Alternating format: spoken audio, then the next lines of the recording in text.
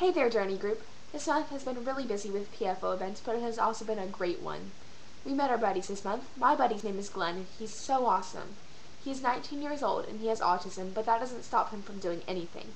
He loves music, and he loves to just walk around and be with you. He's a really cool guy. Each team in PFO has a PFO team partner who has the same buddy.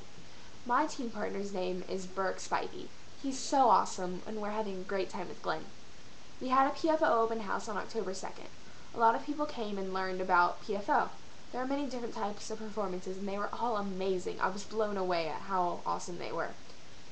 It was an awesome time. I was a food server, and I had a great time serving the guests and getting to be with my fellow PFO teams. PFO is my new family this year, and I am so happy I joined it. This year has just begun, and I can't wait to see what's in the future. Thanks for being in my journey group, and I will ta be talking to you soon. Thanks. Bye.